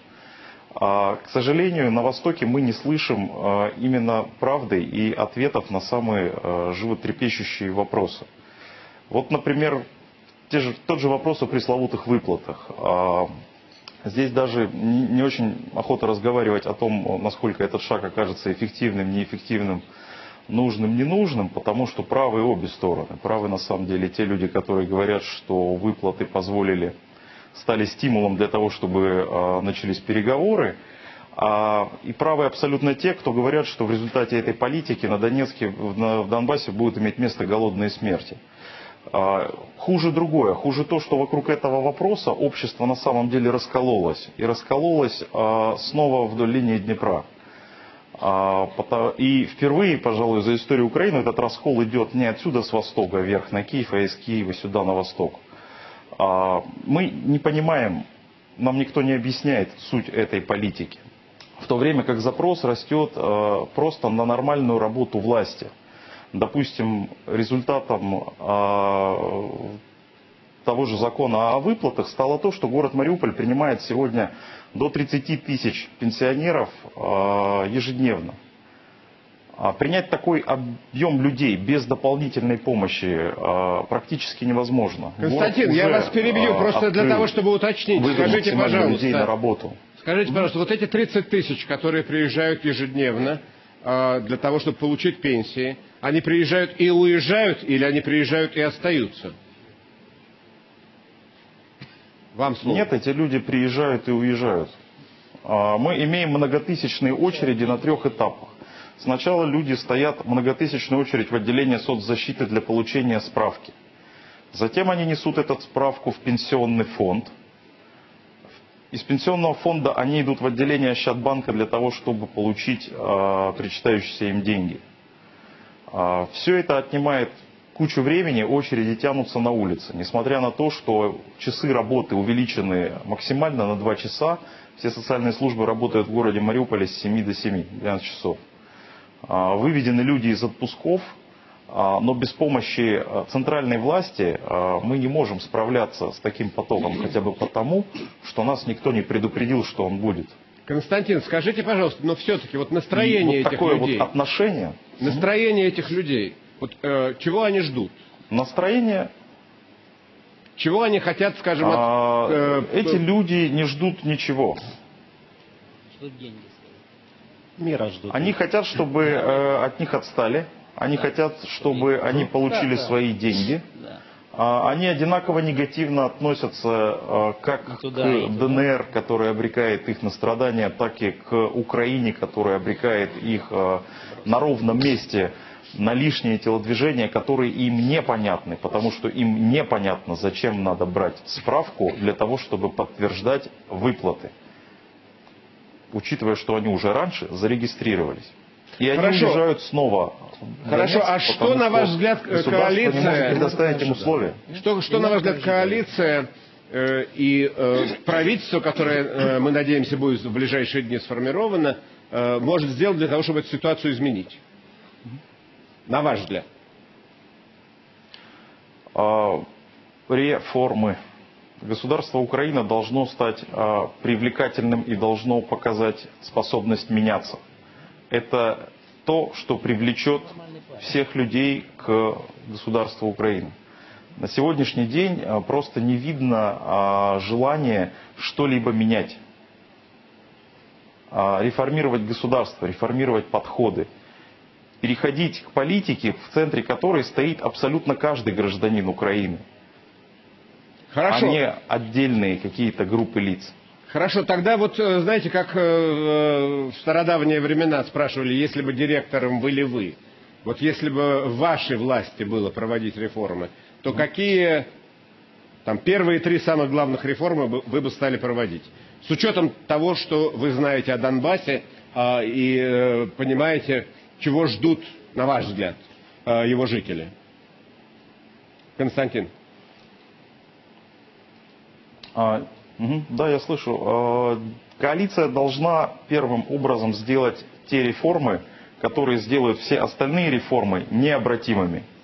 Надо выбрать три простых реформаторских начинания. В моем понимании это децентрализация, в- поскольку это наиболее разработанный и теоретический, и методологический на сегодняшний день пакет реформ а, в редакции Владимира Гройсмана. На втором месте это реформа правоохранительных органов и вообще силовых структур, потому что эта реформа станет естественным следствием реформы децентрализации, и дерегуляция радикальной экономики.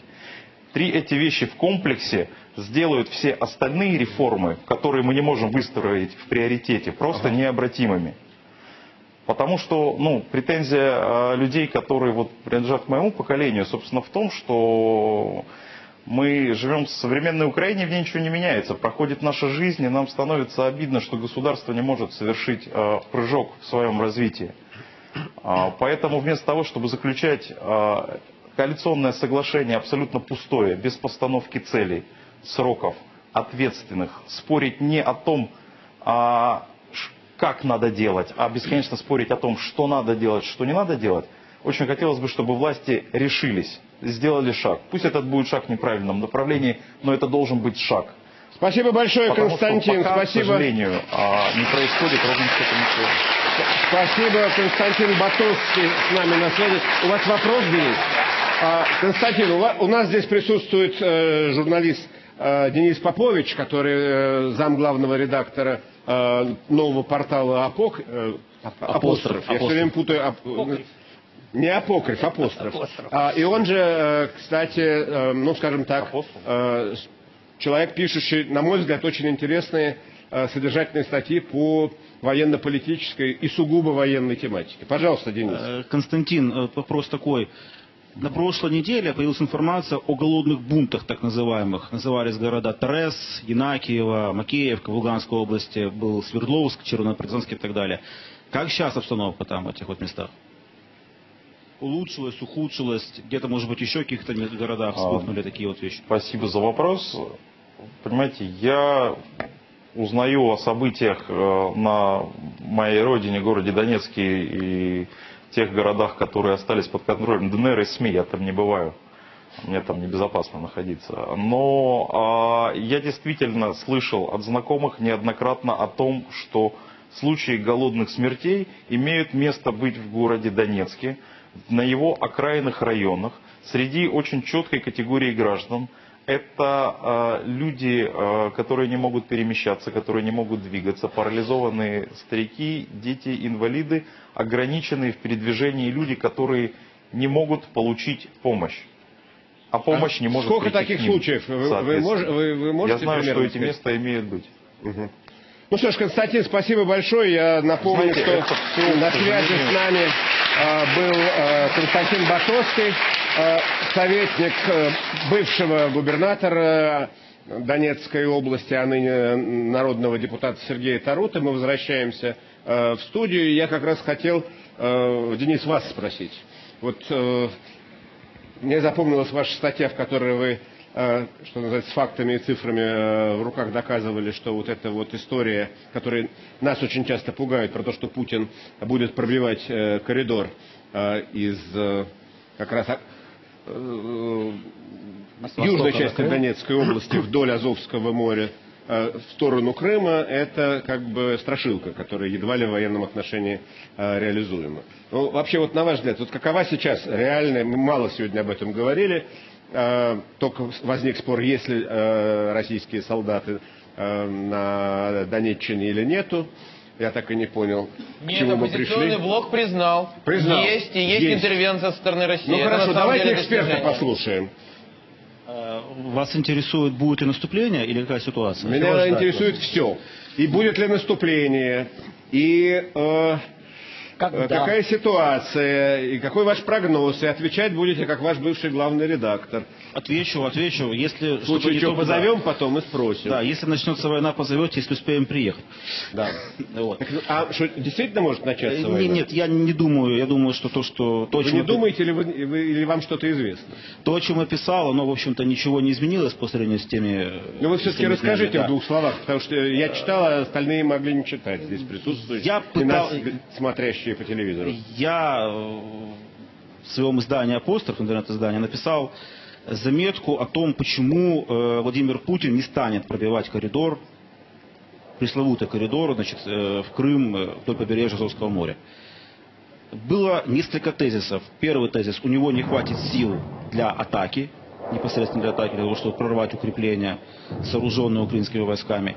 И второй, самый главный тезис, даже если он сможет их прорвать, у него не хватит сил для самого главного, удержать этот коридор.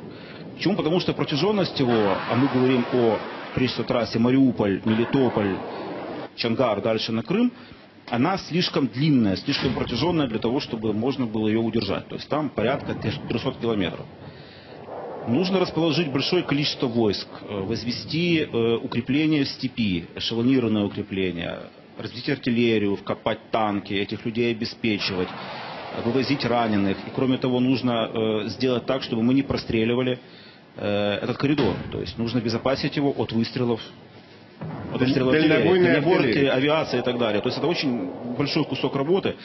Э, трудно выполнимый, просто для этого у него не хватит сил, не хватит солдат. В том числе и те, кто сейчас, которые сейчас находятся вот именно вот, э, вблизи зоны антитеррористической операции. Это первое. Что касается, чего нас ждать в будущем, то я полагаю, что нам э, следует ждать э, мелкого обострения, да, то есть наступлений, э, обострения ситуации на определенных участках. Денис, ну вот с коридором понятно, а Путин э, недавно ну, в средствах массовой информации обсуждалось о том, что пугал наступлением активным на Востоке. Не, не- не пробивание коридора, а вот Да, наступлением. да, на это Донецка, сил да. хватит или это просто шантаж? Как вы считаете? Что считать наступлением? То есть, если мы говорим о наступлении Усилить широкомасштабном, боевые действия на Востоке. усилить А это новые жертвы, новые районы захваченные. Усилить свободно. Есть, есть Дебальцевский, Дебальцевский выступ э, в Донецкой области, который опасен. То есть его можно отрезать, мы получим новый котел. То есть Дебальцево могут за? Дебальцево могут. Там, Что еще? Э, на севере Луганской области напряженная ситуация, то есть цель город счастья, где находится крупнейшая ТЭЦ. Она э, питает весь Донбасс, то есть она жизненно необходима для того, чтобы запитывать Донбасс теплом и светом, да, то есть она находится в руках украинских войск. Там могут быть э, поползновения атаковать. Э, Мы знаем о попытках отжать блокпосты. Вот такое слово применил отжать, да, по-другому это не называется. А что это значит отжать блокпосты? 32-й блокпост э, Бахмутка, слышали, наверное. Да. Он был окружен, и мы были вынуждены его оставить. Потом пошли атаки на 31-й блокпост, вроде отстояли. Зачем это нужно? Там есть э, трасса Т-1303, если не ошибаюсь, она называется. Такая вот шоссе, с помощью которого можно перебрасывать подкрепления под Лисичанск, Северодонецк, да. Она перекрыта нашими блокпостами, и для того, чтобы как бы освободить движение, нужно были- блокпосты ликвидировать. Ну, Ну вот у меня вопрос.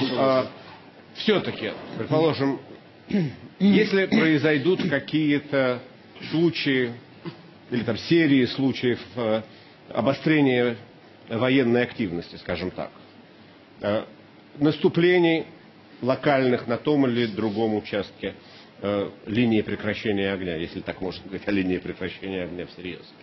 А все-таки это будут действия вот в рамках при- привычной у нас э, модели гибридной войны, когда если и есть э, российские военные, то они выступают в роли то ли добровольцев, то ли отпускников, они без знаков различия, а то ли они там играют роль военных советников э, при э, вооруженных сепаратистов ЛНР, ДНР, или все-таки это может быть э, реальное наступление частей э, и соединений э, российской армии. И хватит ли, сразу уточнение, хватит ли у нас сил, чтобы им противостоять?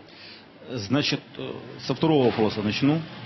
Да, э, сейчас на фронте паритет. То есть, если мы берем, если мы берем российские силы плюс э, боевики, плюс наемники, плюс казаки, ну весь набор, который сейчас там есть, да, на востоке, и берем наших, то это примерно равные силы по численности. Если мы говорим о крупном наступлении, должно быть преимущество раза в три наступающего перед обороняющимся. Это тезисы военной науки. А в некоторых случаях говорят, что и в пять раз. Да, но мы говорим минимум в три раза. Поэтому крупномасштабное наступление на каком-то участке должно быть вот такое вот преимущество. То есть просто наступать... Пока его нет. Пока его нет, да.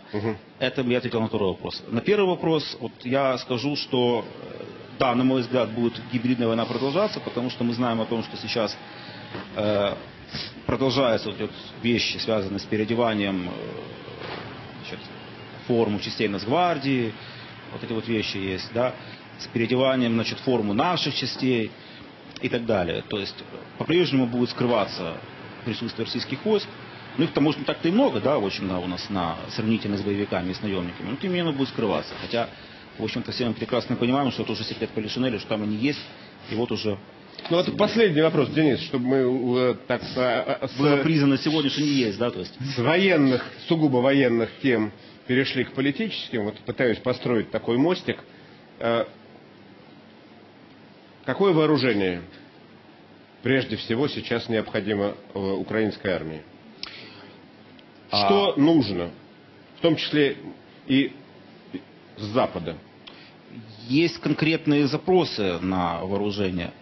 Прежде всего, это системы связи современные, системы разведки, в том числе беспилотные летательные аппараты. Э, На прошлой неделе была информация о том, что начались поставки войска средств контрбатарейной борьбы.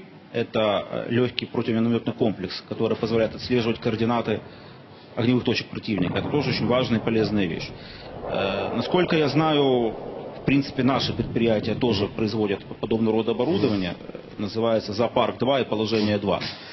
А, к сожалению, они не поставляются значит, в зону АТО. Это уже вопрос, наверное, к Министерству обороны, вопрос к Укроборонпрому, почему как бы эти оборудования не поставляются. Но вот есть потребность и в этом. Конечно же, это одежда, амуниция и так далее. Вот. Бронированные машины необходимые. Почему? Потому что, несмотря на то, что у нас мощный, мощный э, ВПК, пока что э, мы еще не стали вот на те рельсы, которые позволяют нам в избытке обеспечивать э, армию бронированными машинами. Понятно. Понятно. Спасибо, Денис. Высокоточное оружие. А, так можно вопросик Ну? Высокоточное оружие, это уже... э, а мне вот хочется спросить у господ, депутатов, в том числе у представителей э, проправительства, как сейчас правильно сказать, э, э, с точки зрения политологов, правящей, правительственной, проправительственной, С точки зрения правящей коалиции. правящей коалиции. Правящей Вот партии. Представители правящей коалиции вопрос. Эм, В коалиционном соглашении что-то записано, скажем, по поводу того, чтобы ну, скажем, добиваться поставок э, Запада там, нелетального вооружения для украинской армии, тех же самых там беспилотников. Есть что-нибудь там? Ні, там, та, там є глобальний, глобальний розділ про реформування е, української армії, і взагалі військову реформу, де так детально не прописується, але дійсно є принцип. Конкретно там нічого не А, ну, і- прописано. ну, є принцип створення сучасної, мобільної, ефективної армії. Е, а ну, що само собою. То есть четкости там нет. Ну, ну не можна, ну чекайте, там, там і так дуже дуже багато речей. м, е, Ой, чітко извините, я думал, что прописані. это один из самых главных Вы вызовов. говорите который так, сейчас что в перед вами коалиционном соглашении будет прописано. Получите США противоминометную Я уже систему, извинился, получите я извинился, я думал, Великобритании просто я военную перевожу Я закінчу очередной думку. вызов. Е, Створення Наверное, ні. сучасної, дієздатної, ефективної мобільної армії передбачає в тому числі безперечно і високоточне, сучасне, ефективне озброєння. А можно Да, уточнение пожалуйста. еще одно? А, ну, заявили уже в первый день э, работы Верховной Рады о том, что о, помимо курса на Европейский Союз, Украина будет э, двигаться в сторону НАТО О, и, о. собственно говоря, присоединения. А, Если Спасибо, Валерий. президент заявил о том, что к 2020 году при, при условии э, проведения реформ Украина будет готова подать заявку на вступление в ЕС. По вашему мнению, по вашим прогнозам, э, когда мы будем готовы э, просить НАТО принять нас в евроатлантическую семью? По результатам всеукраинского референдума. Абсолютно четко сказал президент. Это абсолютно четко. Але процедури в статуті Альянсу все Референдум можна провести через полгода, можна через п'ять новий літ. membership action plan, план набуття членства. Там будуть прописані купа реформ. Ми повинні їх виконати. Притом виконати не для НАТО, скажімо, всі А політичні реформи, антикорупційні реформи, вони все одно нам потрібні. Скажите, пожалуйста, Игорь, а вот все-таки порядок действий. Э, Сначала референдум, потом получение Ні-ні-ні. плана На действий. останньому лише етапі, перед подачею заявки на членство. Ми будемо проводити референдум. Це може бути через 5, через 10, через 20 років. Тому що з країною, яка воює, з країною, якої є територіальні претензії, у нас зараз територіальні претензії, ми здаємо Крим своїм, Росія своєю. Її все одно в НАТО не візьмуть ніколи. Саме тому говоримо про зараз про вектор, а не про завтрашній план. І все, що ми будемо робити для цього, переоснащення армії, політичні реформи, антикорупційні реформи, все одно це треба зробити. Незалежно від того, це буде для НАТО, для плану набуття членства, чи просто для того, що український народ очікує від нас ці реформи. Ну хорошо, а нет опасения, что, что вот э, как только э, украинские власти, исполнительная власть, законодательная власть, начинают говорить о вот этом самом евроатлантическом векторе развития, это значит сразу мы начинаем размахивать красной тряпкой перед носом у президента соседней страны. Так президент соседней страны уже сошел с ума, его глаза налиты кровью, он проливает кровь украинцев, и размахиваем мы НАТО, никто слова не говорил о НАТО, когда он ввел войска в Крым. Какое НАТО? Причем здесь было НАТО? а можно Он начал... Нет, я просто Ну, хочу, извините, вот, э, у нас такое ощущение... Нас, Давеча все обсуждали нас слух, что поймали... был какой-то тяжелый Да, телефонный да. разговор. Именно- Нас именно поймала так, да. банда, я два- просто маленькую аналогию, нас поймала банда, грабит, пытается убить, и тут мы им говорим, давайте будем сопротивляться, а кто-то рядом говорит, не-не, если они увидят, что мы будем сопротивляться, могут еще хуже дать. Ну, это не разговор. Так вот, вот Нет, этот разговор а. Путина и По-умному. Порошенко. а, Песков, пресс-секретарь Путина, подтвердил, да, что такой разговор был. Украинские журналисты... Ну, сказал, что был э, конструктивный. Да, конструктивный. При этом украинские журналисты э, сообщали о том, что Путин фактически выдвинул ультиматум. Или идет признание непризнанных ЛНР, рес- республик ДНР, и да. отказ от Отказ ЕС от- и НАТО. Так вот, это все, насколько я понимаю, было э, сказано Путин, о, господи, нашим президентом на заседании вашей фракции. Ні. Какие-то были подробности это- А, этой встречи, е, вам Власне, известны? те, що з'явилось ЗМІ, що Путін чимось погрожував, е, стопу е, не було ні слова, і, і адміністрація президента це спростувала. Ми при цій розмові е, Порошенка з Путіним не були, тому я схильний вірити адміністрації президента. А розмова дійсно була важка, але ну, і з Путіном легко розмов бути не може. Е, Тому... Тому е, звідки з'явилася інформація, що е, Путін бився в істериці, щоб Україна не йшла не в ЄС, не в НАТО, я не знаю. Полтора часа. Полтора часа Ну, але і ні, я думаю, що було про що говорити, але Мгм. я думаю, це домисел. Бля, представь, полтора А вы- часа а вы что? в истерике. А у вас есть какая-то дополнительная информация? Нет. Оля? Нет. Никакой. Я, по- поэтому я, собственно говоря, обращаюсь к тем людям, которые э, из первых рук знали, ну мне так кажется, знали о содержании этого разговора. Вы не знаете ничего, Владимир Ильич, Нет, я, я же не журналист, там, не репортер, чтобы знать свои Ну, вы круче, вы политолог. И- правильно, я об этом не говорю. Э, так, ну это ни- ни- никому не в обиду, я просто вот о чем. Смотрите, у меня есть информация о словах э, Вальтера Штанмайера. У меня есть информация Тони Блэра, который сказал, что сирийский кризис нельзя решить без России. И Россия мировой игрок. И надо это учитывать при украинском кризисе. У меня есть информация Магерини, которая сказала, что нужен особый статус Донбасса. І спростували, що я Нет, она не бы говорила бы, конечно, спростувала, но она это говорила до и так далее. Ну, так, так- у меня есть информация, Меркель, которая сказала, что она готова рассматривать торговый договор между Европейским Союзом и Таможенным Союзом. Это, извините, изменение позиции. У меня есть информация о визите Байдена, который сказал, нет военного решения конфликта на Востоке, и нужно искать какие-то мирные дипломатические методы. Вот эта информация Но открытая. есть информация о том, что республиканское большинство в Конгрессе сейчас начинает занимать все более и более жесткую позицию и ставит вопрос о том, что если эта администрация, э, как говорится, не имеет политической воли на то, чтобы оказывать Украине, в том числе и военную помощь, мы это будем делать э, путем принятия соответствующих э, законов. э, Пусть принимают. на- нашим Все-таки, но, большинством. все-таки, но все-таки исполни- Нет, я же не говорю, что это аргумент. Я говорю информация, какая есть. А у меня есть чем дело? информация следующая, Да. что понятно, что Магерини,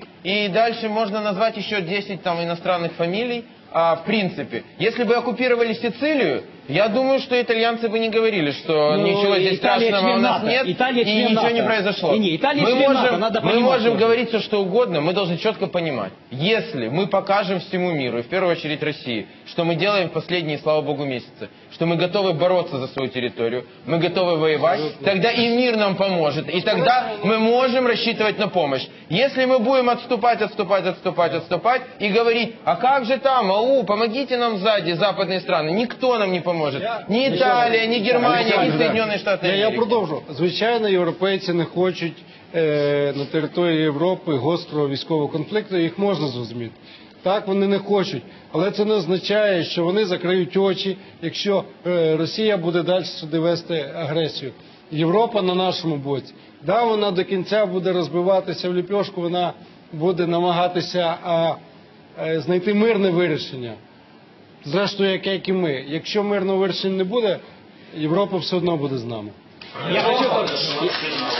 Господа, извините, пожалуйста. Разговор у нас был... Разговор у нас был очень интересный, но значит, в этом мире все заканчивается. Смотрите нас э, через неделю. Продолжим разговор. Спасибо.